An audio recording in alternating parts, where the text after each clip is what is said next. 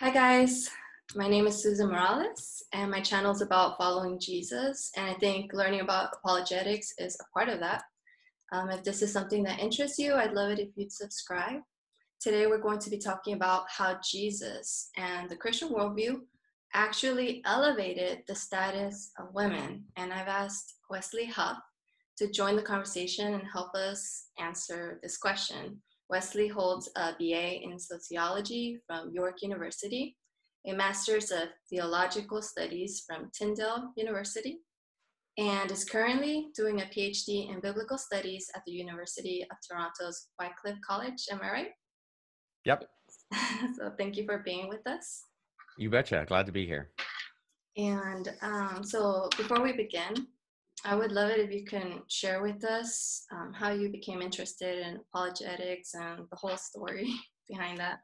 Yeah, definitely. Well, as a bit more of a background as to who I am, uh, I grew up a missionary kid. I grew up overseas for a portion of my childhood. My parents uh, lived and worked in the Middle East. I was born in Pakistan originally, but we left uh, not long after I was born and then eventually we ended up in uh, the middle eastern country of jordan and that plays a big part into some of the apologetic and evangelism work that i do on university campuses uh, here in canada where i live i live in, in toronto canada with muslims.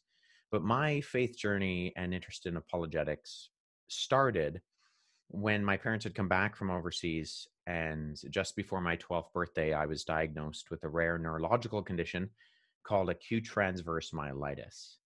And so what that is is that uh, my my body's immune system, uh, I had the flu, and my body's immune system, instead of attacking the flu, attacked the nerve endings of the base of my spinal cord and caused swelling, inflammation, and left me as a paraplegic. And it was the the medical professionals who originally said uh, that I would be a a paraplegic for the rest of my life that uh, I would have to get used to being physically disabled. And the short story is that one month from the day that I got that, uh, I woke up from a nap and couldn't feel my legs. I woke up on a Saturday morning, got out of bed, walked over to my wheelchair and sat down. Uh, and that was it. And it was the medical professionals who originally said that they had no true medical explanation and uh, that the recovery was miraculous. And so that definitely marked a powerful supernatural experience in my life. And yet, going on from there, especially in my teen years, I really struggled with my faith. I really struggled with intellectual questions about what I was raised to believe and why I should believe it. And so I went on a bit of a journey, um, not necessarily a crisis of faith, but really exploring worldviews, exploring belief systems, and at the end of it, after uh, deep diving into a lot of other worldview perspectives and having the benefit as someone who grew up in various contexts and being exposed to other religious worldviews like Islam and, and Hinduism and so on, um, and exploring the the ultimate questions of of what those worldview perspectives held, I came out of it being more firmly established in the Christian worldview. I, I, found that the Christian worldview answered the questions that I ultimately had. And then it wasn't just convenient that I was raised in a Christian household, but that it was ultimately true with a capital T.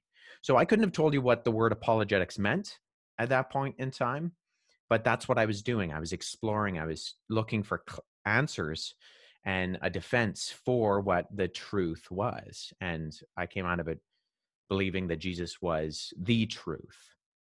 And so that really started me on a journey. Uh, I went on to university, uh, not pursuing that necessarily, but as uh, I went on in my studies, uh, I eventually found that one of my biggest passions, if not the biggest passion, was exploring what I believed, communicating that with others, and helping others of other worldviews see the truth of the Christian worldview. So I eventually went on, did some graduate work in theology, and um, I currently am I'm not only uh, doing doctoral, doctoral work in biblical studies, but I work for the Canadian version of Cru, so the, the campus ministry. It's called Power to Change. And I work on a team that does uh, itinerant speaking at, at universities across Canada. And uh, I'm also an associate with an organization called Apologetics Canada, which is situated on the West Coast. And so I, I do uh, events, occasionally jump on their podcast, and um, write and research for those two organizations. I think it's really important to know that about you because there can be some um, uh, preconceived uh, thinking uh, that you are only interested in apologetics because um, you're just trying to believe um, what you say you believe, but actually um, you you have um, already um, been open-minded and considered other worldviews as well, right? And you feel that you are convinced that Christianity is true based off of what you have researched yeah, in one way, I'm sympathetic to that objection to say, well, you're just looking for confirmation for uh, your biases, for mm. the things that your parents told you were true, for the worldview that you grew up around. Um, and I've been in situations where people have said, you know, if you were born and raised in another country, you would be whatever the the mainstream of that is and ironically i was born and raised in in majority muslim countries and so that doesn't really go all that far with me mm-hmm. uh, but i think it is important to explore the truth and a lot of the people i think who raise that objection don't realize that they were born and raised in secular contexts they were born and raised in atheistic contexts and so the argument kind of goes two ways uh, but at the end of the day although sure your upbringing your social setting that that of course contributes mm. to the the perspectives that you hold but it doesn't ultimately change what's true so at the point of evaluating the evidence and looking into those things coming out of it with you know evidence and reason and something that you can really stand on uh, makes makes a big difference mm-hmm. I was remembering um, that um, when I was a little girl, um, I had these a couple of music teachers, and um, you know we we ended up moving, so we left that church, and um, I actually bumped into one of those um, those guys, and it was many years later, but uh, he kind of told us that he had not. I guess he left the faith because of um, he started kind of talking uh, about how the disciples it was all a lie and and you know I, I didn't really know anything much about apologetics at the time to be able to really understand all the information he was like passing mm. on right and um, but i did what i did uh, gather in that moment as he was speaking was that somebody convinced him that uh, the reliability of the bible um, was not um, true. And um, so there's, I've also uh, heard a lot of people raise arguments against like the goodness of God by making arguments um, that uh, that that the Bible is promoting um, ideas that women are property and so forth. So um, I'm really interested in hearing your thoughts about um, for example, well, how were women viewed in the ancient world? Yeah, I, I, think that's that's a good question. I think it's it's something we need to explore because uh, the the reality is is that the Bible, um, what we call the Bible, these the sixty six books of what we refer to as the Old and the New Testaments, uh, mm-hmm. were written in a setting very different from our own. So I, I like to say the Bible is written to us or sorry, the Bible is written for us, but it was not written to us. There's a very different audience that that the the authors of the Bible have in mind, and there's a, a very different socio cultural context that sits behind that. Uh, if we're talking about uh, the Old Testament, the ancient Near East, uh, there was a, a perceived idea that um, there was a hierarchy. Uh, the the king was at the top, and there then there was a status that that went down further and further and further and uh, with a lot of these cultures when you explore into uh, what's referred to as the ancient near east so mesopotamia if you read the the old testament you read about you know all the hittites and uh, the perizzites and the canaanites and the mosquito bites all those ites right uh, that you have in the old testament and that's what we refer to as the ancient Near East. And it doesn't matter really where you're looking, the social stratas that you see really start to put women pretty low on on that that list. And likewise, when you get to the the New Testament, um, what we refer to as the New Testament, those 27 books that talk about Jesus and, and onward, uh, his immediate followers, they're also in a setting which has um, women at, at, a very low point uh, in society. In fact, the the culture immediately before the time of Jesus, the, the Greek culture, uh, viewed women in particular um, through the lens of what's referred to as dualism. So there was this idea that human life was viewed as the uh, incarceration of the soul in the material body. So they believed that the spiritual was good and the physical was bad. And so um, part of that that went along with that is that there was an idea if you read some of these philosophical texts that women had too much body which is a funny thing to think about. Um, and in this balance of matter and spirit uh, this is what plato says in the fourth century bc and he actually writes that women are probably sensual reincarnations of immoral men. So there was a very a very strange but very negative view of women. And then even when you get to jesus's own day the, the first century ad there's a guy named plutarch and he has this sort of uh, writing that encompasses uh, a pre-marriage counseling um, advice in it and he says uh, a wife must speak to her husband or through her husband this is an exact quote he says a wife should not acquire her own friends but should make her husband's friends her own the gods are first and foremost significant friends. For this reason, it is proper for a wife to recognize only those gods whom her husband worships, shutting the door to superstitious cults and other religions. And so you really start to see the idea that uh, even in the, the social hierarchies within the Greco Roman world, women are below men.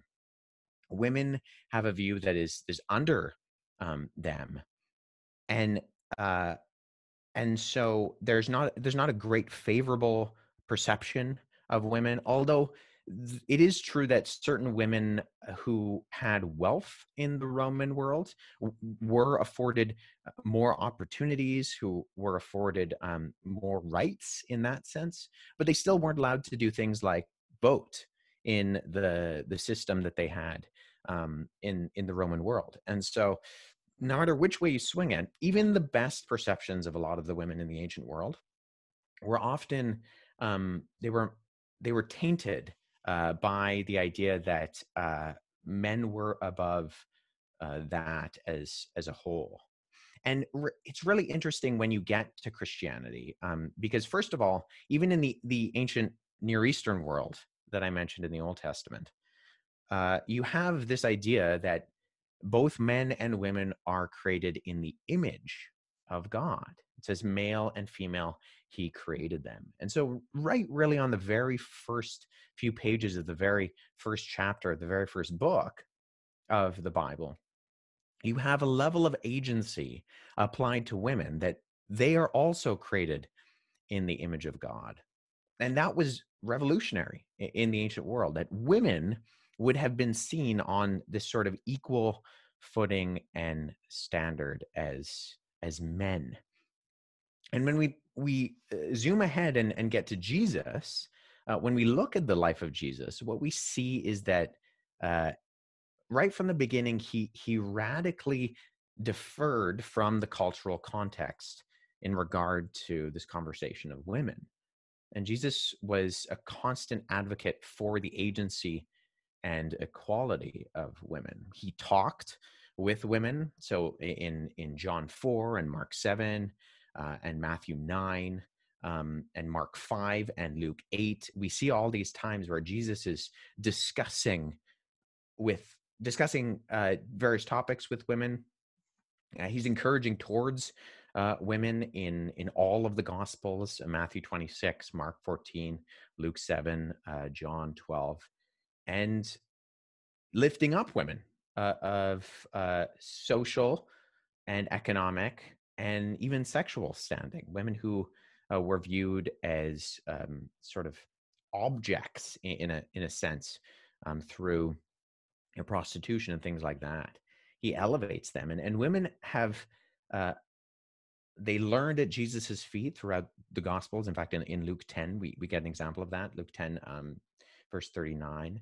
And a, a concept that uh, would have been seen as radical in the first century, both in Roman and Jewish settings, for a woman to sit at the feet uh, of of a, a, rabbi, of a teacher. Uh, that was a, pretty revolutionary. And it's also interesting that we see, um, taking a glance at the records of early Christianity, uh, one thing that stands out very starkly is that the early Christian movement was almost entirely made up of women and this is surprising uh, for a number of reasons. one of the first is chiefly being that the population of the Greco Roman world was predominantly male. So maternal death in childbirth was high, the gender selective uh, infanticidal um, uh, traditions uh, was common practice when it came to girls. Uh, in fact, there was a, a, Roman practice known as exposure, uh, which is essentially an ancient form of abortion where the woman would give birth and if it was female they would leave them uh, near the garbage dumps the outside of the, the city and christians were were famous for saving these babies for raising them um, as their own and all of these sorts of different factors made roman society disproportionately male and yet christianity was predominantly female in its earliest form earliest forms and I think one of the big reasons for that was that it gave agency to women in particular. The, the teachings of Jesus and the idea that uh, not only were both male and female created in the image of God, but then women, um, Christ died for all. He died for the male and the female.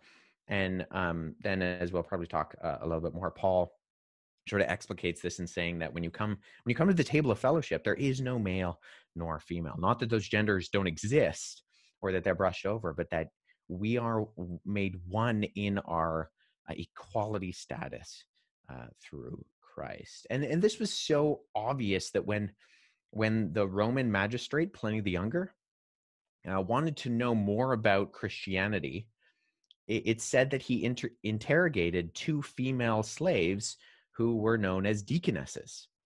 Um, he's looking for leaders within the early church movement, and he's actually going to particular individuals who are women. Uh, there's another ancient writer named Celsus, who's a second century philosopher, philosopher, and he's a vocal proponent against women or against Christianity, sorry. And he remarks that, and here's another quote Christians want and are able to convince only the foolish, dishonorable, and stupid, only the slaves, the women, and the little children. He sort of packs them all into the same category. And th- this is meant to mock them. You know, it's nobody believes that but the women.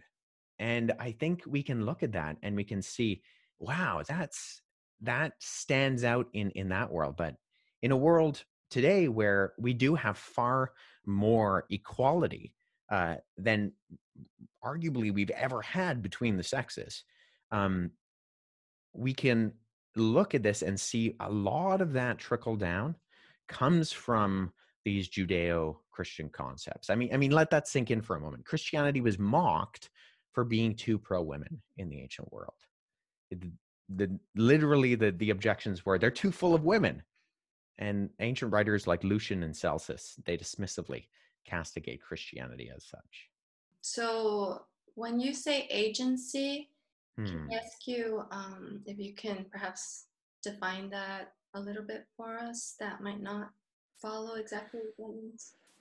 Yeah. So agency in terms of um, equality of of opportunity, uh, in terms of seeing both male and female in uh, equal in their status as human beings. Um, so now we definitely put people on different statuses in, in terms of their you know economic status in terms of um, certain qualifications and i think that's that's normal uh, in some ways that's healthy but we definitely wouldn't say that you know, if someone has a has a greater number of academic degrees than I do, well, then they're more of a human being than I am.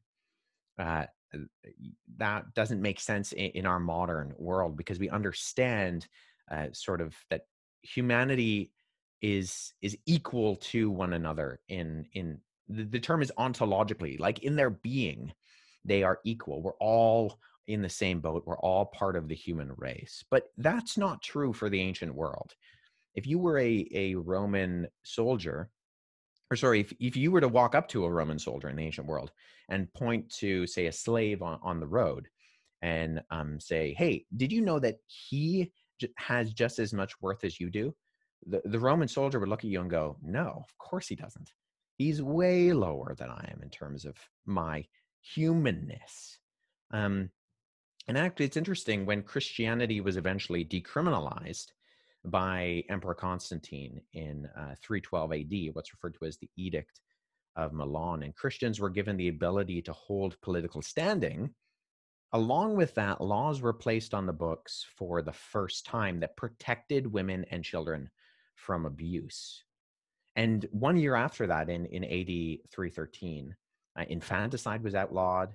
And then shortly after that, in, in 321, financial provision for um, uh, single and poor women uh, and uh, was was given um, if for no other reason then there was a practice in the ancient world where if women were um, if they were divorced unfairly or if they became widows or if they fell into economic collapse they would often sell their children for subsistence and these these uh, sort of social safety nets were put into place by the government um, particularly through the Christian means to prevent this to outlaw it. And and in uh, 428 actually there's a, a, there was a law against pimps uh, fathers and slave owners who were exploiting women for sex um, that was condemned and prosecuted to the full extent of the law and that's the first time in the ancient world that we really start to see those things and that's what i mean by giving agency uh, the progression of equality mind you, was slow in Rome, um, wasn't built in a day, and a, but a lot of its social institutions that were um, uh, pervasive, these things took time to chip away. Uh, there's no denying that. But eventually, what we see is we see the Christian worldview starting to permeate the ancient world. You don't you don't get these sorts of laws passed. You don't get this idea that men and women are are created equal uh, anywhere in the ancient world. And I would actually advocate also the modern world, aside from the Judeo Christian worldview. That's where it comes from. You, you wouldn't naturally uh, get these get these ideas. Like I said, those hierarchies of um, you know the the the kings and the emperors being on top, and then you know uh, the social stratus, and then really uh, women, uh, little children, slaves, uh, barbarians, you know, those types of people, they're on the very bottom. That is how the ancient world saw it. And it's when we start to see Christianity permeating throughout the society that we start to see equality. And um, that's that's where we start to see uh, that there's no denying that the growth and prevalence of Christianity and it's understanding that all are made in the image of God, right? Like I said, Genesis chapter 1 verse 27 and that as i mentioned also um, in galatians uh, 3.28 paul says that in christ there is no male nor female these types of ideas they completely revolutionized the ancient world's understanding of equality and particularly value when it came to women. Looking uh, back at the old testament for example so like the argument i'm hearing in my head concerning this is why couldn't God just have said these things in the beginning, um, like throughout the Old Testament, because you see um, examples, laws that um, they seem to.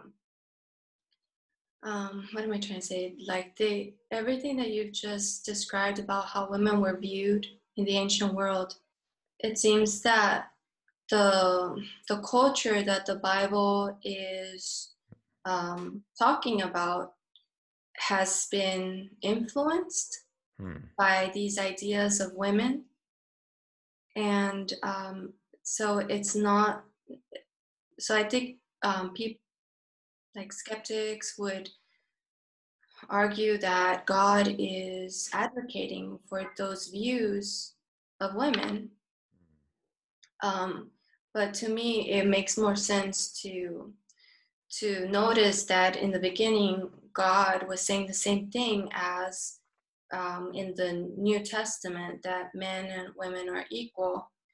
But um, you know, you have at some point you have to uh, take into account man's responsibility in the way the world is functioning and the beliefs in the world. And um, so God said something about the perception of, of women, the truthfulness of the value of women. But um, it seems to me that um, like the, the way that the world believed was a lot different than what God had spoken already in the beginning. So to me, it seems unfair to blame what was going on uh, regarding women to blame it on God. Mm-hmm. Whereas perhaps it would make more sense that, like in the Old Testament, um, the laws were more of regulating how the world was operating, the perceptions of women, and that God was actually going to bring clarity again about all of that through Jesus. Is would you agree? Yeah, I think I think there's a lot of a uh, lot of truth in in what you you've just uh, articulated. Um, I think, like I said before, that uh, there's a very different social setting that a lot of these books are written within, and we sometimes, and it's easy, and and we're all guilty of this in one way or another.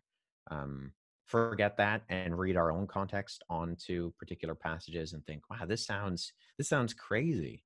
Uh, but when we put them in the framework of understanding what was going on within that day in those settings, I think it really starts to fill out our picture. I also think there's a lot of things, there are a lot of things in the Bible that are um, descriptive in the sense that they're describing what is happening. Uh, so I think there are really three categories that we can talk about when we talk about particular verses within Scripture. Um, there's uh, descriptive, there's prescriptive, and then there's um, explanatory. Uh, so, or emotive, I should put it. So, descriptive obviously is describing things that are happening. So, in a lot of the historical books, that's what we're getting. So, when you see Joshua going out into the land of Canaan, and God is using Israel as his means of judgment to a morally depraved and corrupt people, to eliminate them that's descriptive. That had a particular setting. And we in the modern day, we don't use that as as a template to, you know, therefore go and do likewise kind of thing. Um, it's describing something that happened within history in a particular context and setting. But then there are things that are prescriptive that we're told to do in terms of the law, in terms of the commandments, in terms of uh, things that God has promised to us as believers, um, those within. Um, now, there's a, a, a, different application now that we're in the new covenant to a lot of that, uh, but it is nonetheless prescriptive. It's given to us for our benefit, really to live out that image of God in us. We are created to be in the image of God. And so things like the Ten Commandments are just reminders that those things are the opposite of the character of God. God is not a liar. God is not a thief. God is not a murderer. And so you and I, created in that image, um, were likewise not supposed to be thieves and liars and murderers and adulterers and coveters. By actually obeying those things, we start to live out how we are more human. Um, those things aren't there to to be uh, buzzkill to the things that that are perceived as fun, but they're actually there for our good. And those are prescriptive. And then there are uh, things that are emotive in the sense that you have a lot of things written down, um, particularly in passages like the Psalms. Uh, so if you open up to the very middle of the Bible, there's a book, um, one of the longest books of the Bible, if not the longest. Well, it is the longest, I think, uh, called the Psalms. And this is a hymn book of the ancient Jewish people. And a lot of that are people like David and Asaph and others expressing emotive um, outcries to God or you know of not understanding. And when we understand that that there are these three categories and we don't confuse them uh, i think it starts to help us see that there are certain things that we see in the bible that were not for the benefit of of individuals like women uh, things like polygamy with men having more than one wife. And we see right from the beginning that god outlines that marriage is is between a man and a woman and eh, that there's that that too and god in certain settings allows the polygamy to happen not because it's sanctioned by god not because it's blessed by god uh, but to show that that is not the way. That's a sign of the brokenness that we see in the world and every time you see that happen for every individual in the old testament it causes pain, it causes suffering, it causes a drawing away from the goodness and um, human thriving uh, that God has created for those individuals. And God allows those things to happen to teach, to teach those people uh, that this is not the right way, uh, and they need to learn that. They need to learn that that those things uh, are are done, but that God uses them for both His glory um, and for the the teaching and equipping of of His people. So we do see a, lot of those things within within the Scripture. We do th- see things that we can read with our modern lens and say, "What's going on here? I don't like that." Uh, but when we see that uh, in in the context of their own day, they're actually quite radically the opposite uh, of that and that even when we start to see that culture bleed into uh, what's being described um, often that's a that's a perversion that's a, a, sign of the brokenness that god is communicating to his people. Does that make sense? Yeah. So even christians when we're reading these stories um, and we do come across times when these men took on multiple wives or had children with their servants. Mm-hmm. And um, is that a reflection of the influence that the ancient world had of women, even on, you know, obviously on men, but even on women themselves? For example, when we see Sarah encouraging her husband to take on another wife and to have, you know, try to fulfill what God had spoken, the promise of a, a child she was kind of trying to make it happen through her servant. Um, it just, for someone like me in this time, it seems unthinkable to ask your husband to do that. Mm-hmm. But it seems like it was something so normal for her, and that there were these customs happening during those times, like that that that child would be considered. Um, if I'm understanding it correctly, I, I kind of get the idea that that Sarah thought that if, if she had a child through her servant, that it would sort of be considered like through her, that she had a child sort of through her? Or am I thinking that wrong? Yeah, well, it would have been understood as yeah, carrying on on the lineage. Yeah, of of particularly the father. So I think uh, what you're saying is is yeah is yes there there were these sorts of cultural ideas um some of which uh, are good, some of which are bad, some of which are just what they were. I mean, they're they're not good or bad. They just were what they were.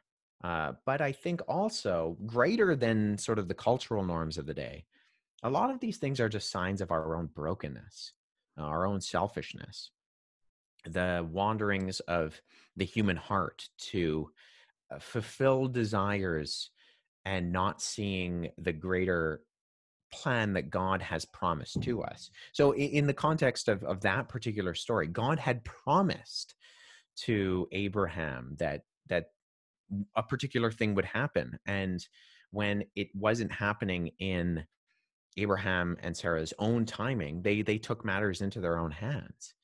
And I think what this exemplifies is that we our hearts wander and we desire to try to fix something that in reality God has promised good for us.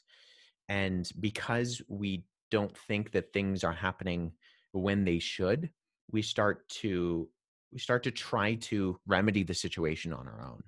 And, and that's what that's what we see there. That's what we see in that particular situation.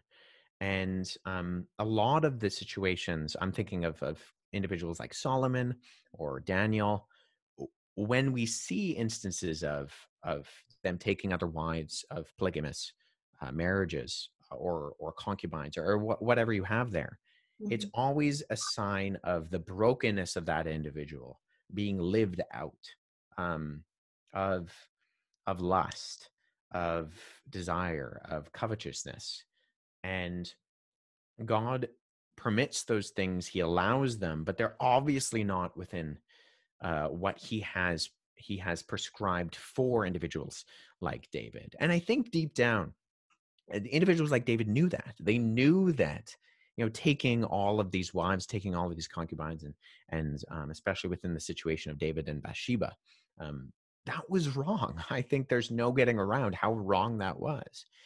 Uh, but what it exemplifies is that even these great men of God, they are broken. They are still marred by sin. And until we fix our eyes uh, in the in the after cross perspective, fix our eyes on Jesus as the author and perfecter of our faith, we're always going to be prone to wander. And we see a lot of that in the Old Testament, particular particularly within these these situations of of marriage and um, sexual exploits. It's always a brokenness, and uh, the the ripple effect of that goes out and really affects uh, these people in, in a profound way. Where you can see that if they had trusted God, if they had um, lived out the commands that He had given them, um, we're talking about particular in marriage, but in a whole range of contexts, it, it would have been better for them on, in the long run. It's kind of like God is showing us through the mistakes, through the choices of humanity over time. He's showing us how how you know immoral people are and how how in desperate need people are of him in order to to even think you know uh, morally like even even just like how we talked about how jesus impacted how um, women were viewed and their agency, um, that improved. It became like right. It became moral um, as a result of um, Jesus. Mm-hmm. And it seems like people were not going to come to that um, way of thinking on their own. I mean, we can see this throughout the time, right? It was thousands thousands of years of men not viewing women as mm-hmm. equals and you know and the opportunities that they have and how yeah they are they are treated as property in in the eyes of um, men and even even in the eyes of women the way that they perceive themselves they, they kind of accepted it. it you know these women that were involved in um, pagan idolatry and they I, I mean, I'm guessing it, they they had the choice to participate, or perhaps maybe they didn't in some cases. You're right, Susan, in in what you're articulating, and I think we also uh, there's a we need to be honest in the the candid admission that the, the church throughout its near 2,000 year history, it still struggles to get this completely right, doesn't it? Um, there's there has certainly and disastrously, disastrously, and at times embarrassingly, uh, been times where Christians have fallen short of the precedents that Jesus set before us in regard to the, the treatment of women as a, a group of broken, hurting, fallen individuals. Uh, the church has failed to live up to what it, what it has been called to. Uh, and yet, through the fog of brokenness and hypocrisy, I think there is the reality that our trust and hope is not in the church, uh, but is in Jesus. And the Christian mu- movement from the beginning, and a lot of things that I've already discussed and highlighted, um, has fought hard and long for the status and agency and equality of women. Uh, but that reality, however, presents a, a, bit of a problem for some of our modern narratives uh, that want to claim that Christianity was and is oppressive to women, um, which is, I think, the opposite is is actually true.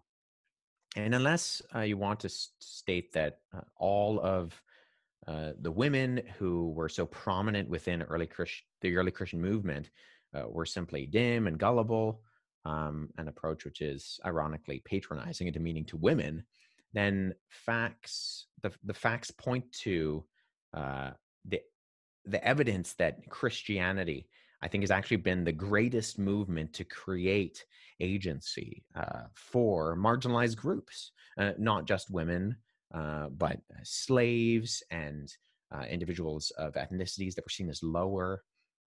Um, and even uh, the first wave feminism uh, in the 1920s was largely undergirded by Christian activism.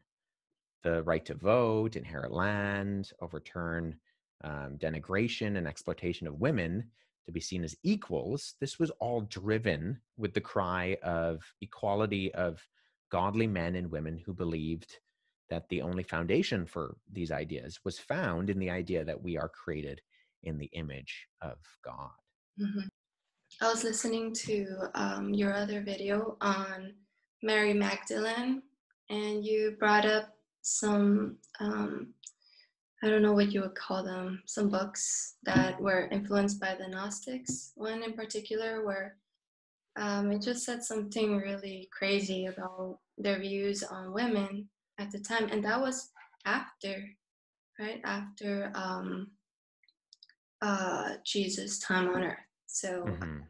and it just goes to show that um, there were still these beliefs, um, these perceptions of women that that they were not equals. It was almost like they were fighting the uh, responding to what Christianity was teaching now about women.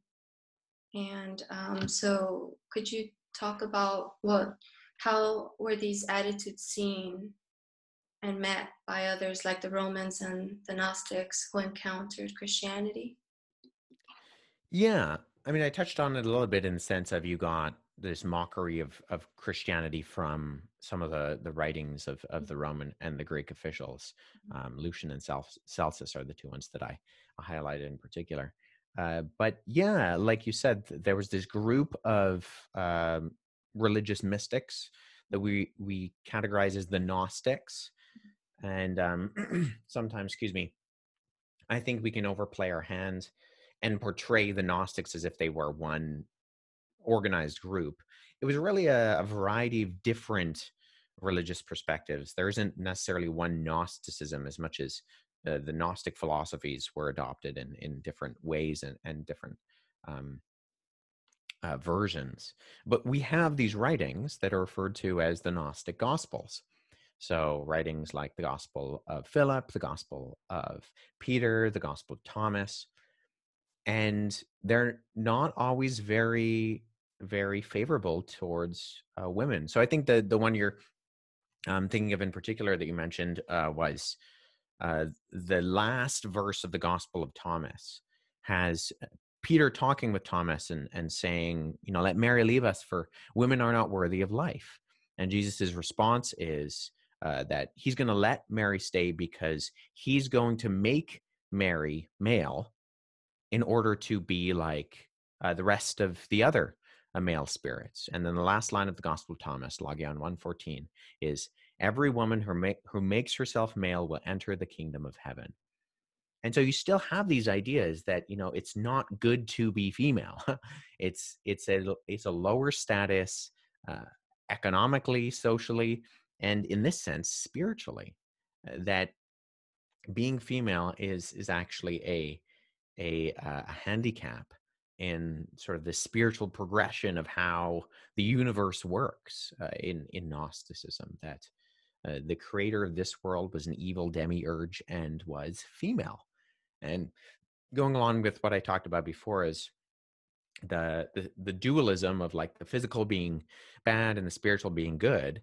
The Gnostics, fitting right into that cultural uh, understanding and norm believe that well the, if the creator of this world was female and the, the physical of this world is is evil then that creator uh, deity has also has also a need to be evil because only evil could bring in the, the physicalness of this world which is in turn evil. And so all of this affected the way that women were seen within um, uh, not just, as I said before, uh, the Greco Roman system, but in some of these other religious systems where women were seen as as lower, as less than, and um, in, in, the case of the Gospel of Thomas, as uh, not, as Peter says, not worthy of life.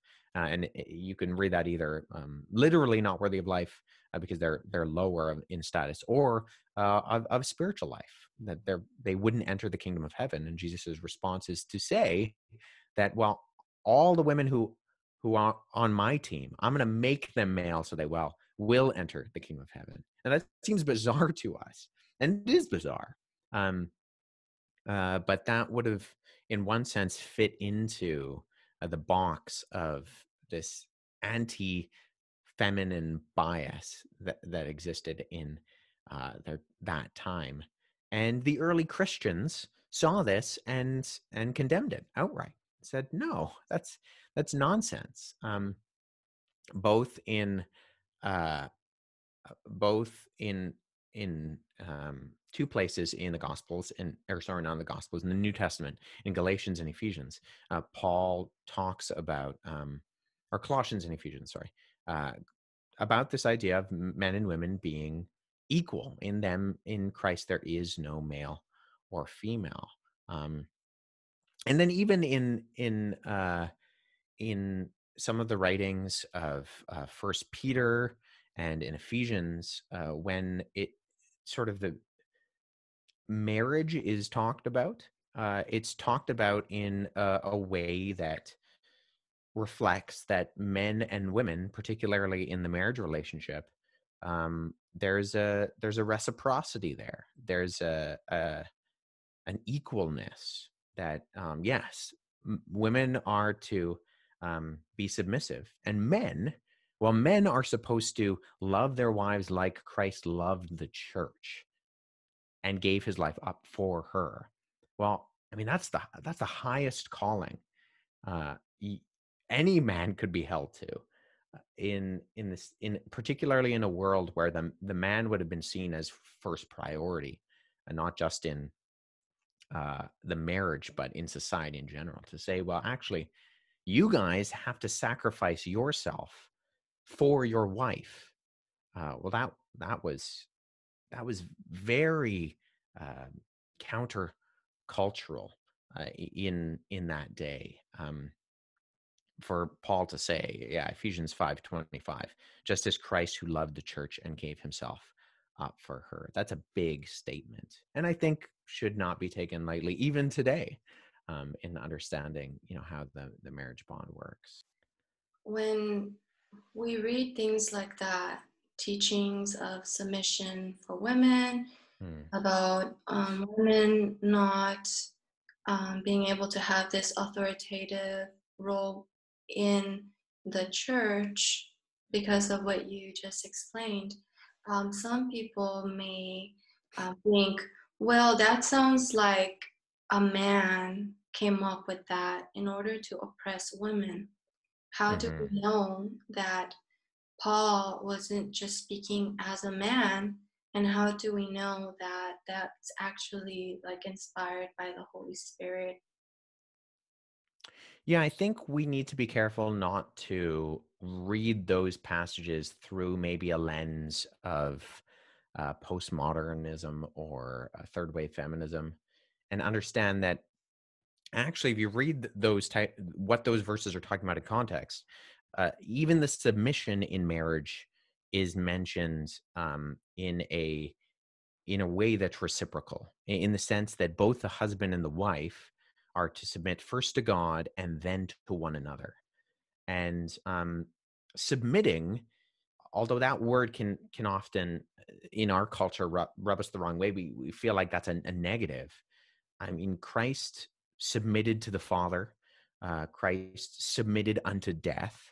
So uh, God Himself, there's a sub- self-submitting in that, and it's not a negative. Uh, it's it's a sacrificial servanthood to one another, and we we can often get the wrong impression uh, by a word like submit.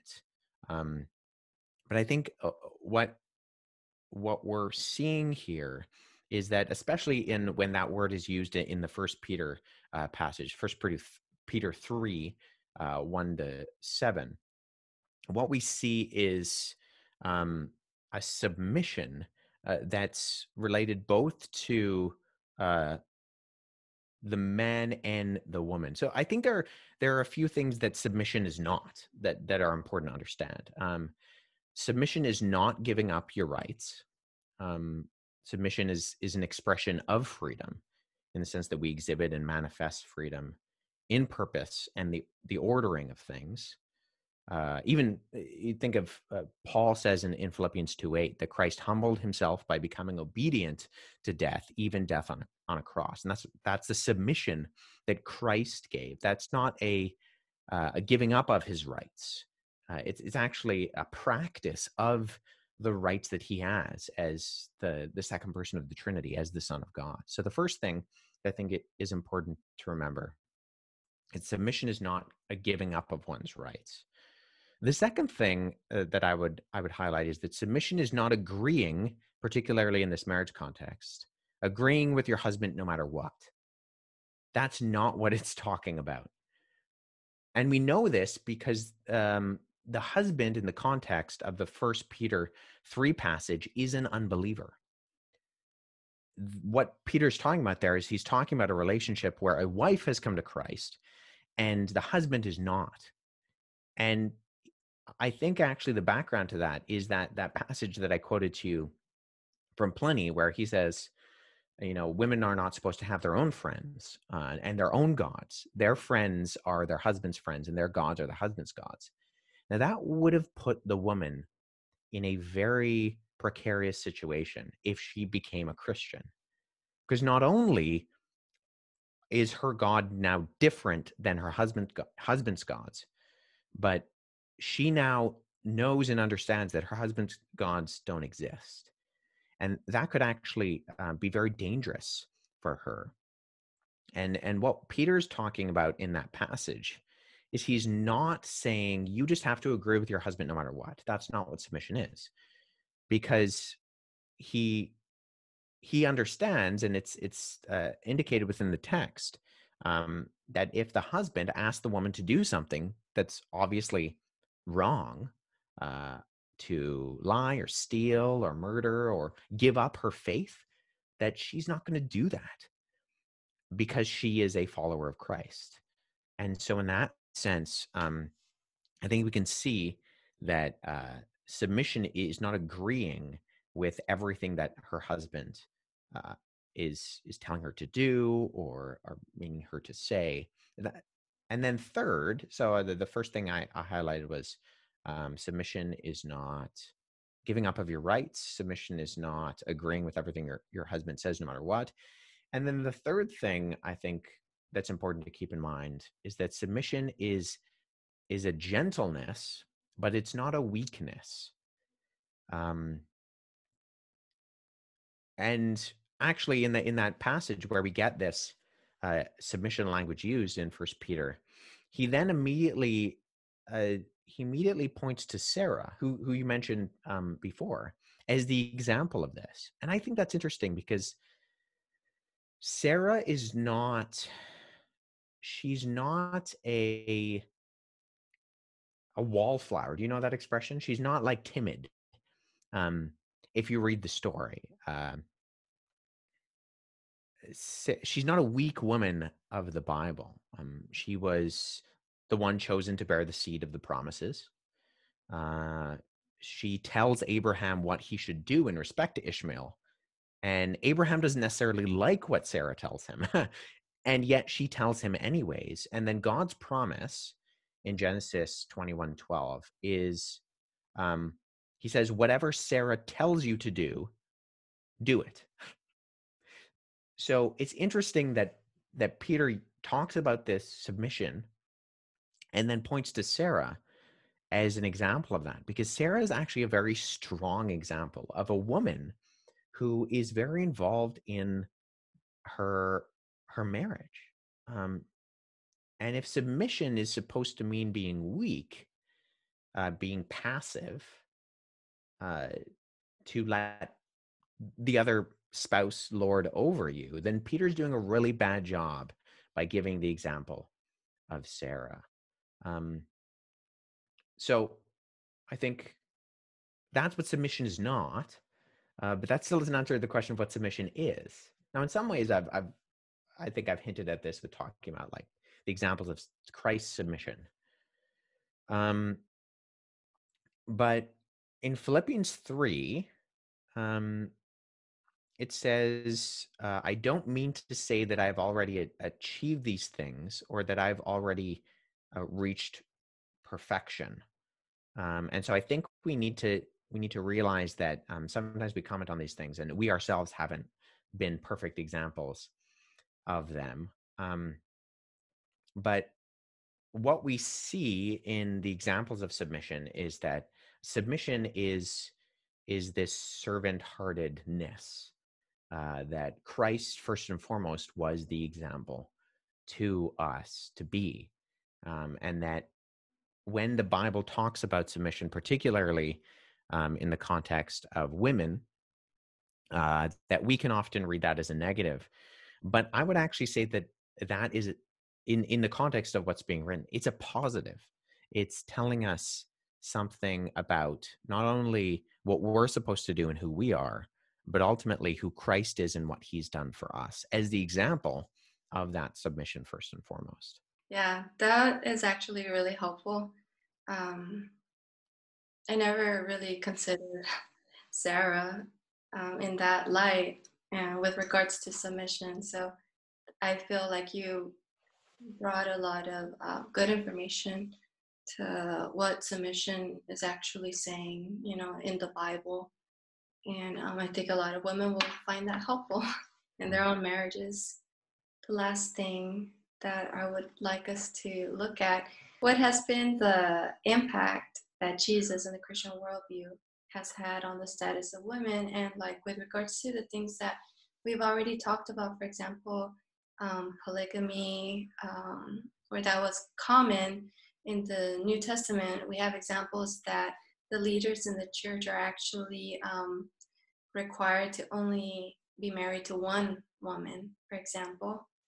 Or um, any other examples that you can think of of how how this uh, this Christian worldview has changed things that used to be one way for women and the way women were perceived, and now um, it's changed.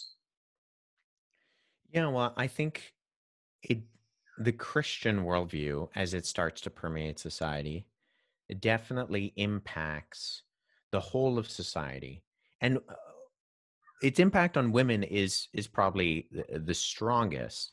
Um, but also its its impact on how slaves were seen. Um, There's a great book that came out last year uh, by a historian named Tom Holland. So uh, there's an, the actor who played Spider Man is also called Tom Holland. So not that Tom Holland. Uh, this is a different Tom Holland. He he wrote a book called Dominion, and it's a it's a big brick of a book. Um, I looked back on my shelf while you were talking to see if I, I had it, but I actually just lent it to my pastor, so I, I can't show you what it looks like. But uh, in it, he's not a Christian, but what he does, which is fascinating, is he evaluates how the Christian worldview has impacted, particularly the trickle down of modern society, uh, but throughout society. So he's an expert on um, ancient antiquity, which is like the Greco Roman world heading up into the Middle Ages.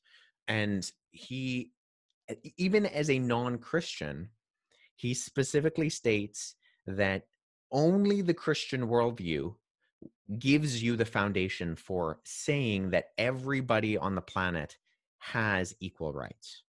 You do not get that from any other worldview. And the way he describes it, I'm paraphrasing, but, but it's, it's really good. This is actually what I'm doing is I'm paraphrasing Tom Holland through the paraphrase of another guy, um, Glen Scrivener, who uh, has an organization called Speak Life out in the UK. He's Australian. And how he summarizes it is he says that every worldview perspective, whether it's ancient or modern, whether we're talking about you know ancient Mesopotamians or the Greco-Roman world or Islam or modern day secular natural materialism, is based on some form of survival of the fittest.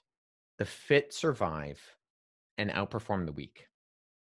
But What's different about Christianity is that it's not based on survival of the fittest.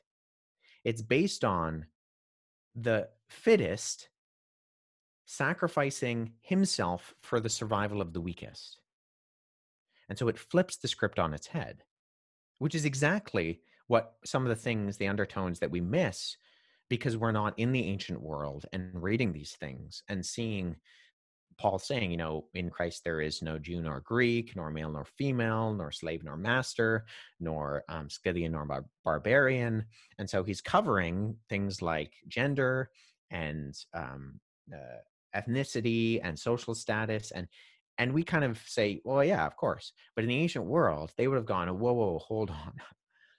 There's no male nor female? There's obviously a difference between male and female. What are you talking about? Slave and master there's obviously a difference. If i if i come to the table and the elder in my church is one of my slaves well paul said paul is saying you know you need to submit to that individual. Like it's totally turning the narrative on its head. And i think we assume these things within the modern world particularly our views about women that women are equal that that both men and women are equal, that we have inalienable rights, that we have worth, that we have value by just being human. Those are Christian values. Those are Judeo Christian values. And if you really dig into them, you have to get them from the Christian worldview. You have to get them from the Bible. There is no other place where you can ground that. It comes from, first and foremost, the idea of being created in the image of God, both male and female, he created them. And then on top of that, Christ sacrificing himself, laying himself down as a slave, a a the the Greek word means slave or servant for us. Now, Jesus said the Son of Man did not come to serve, but to or sorry, not to be served, but to serve.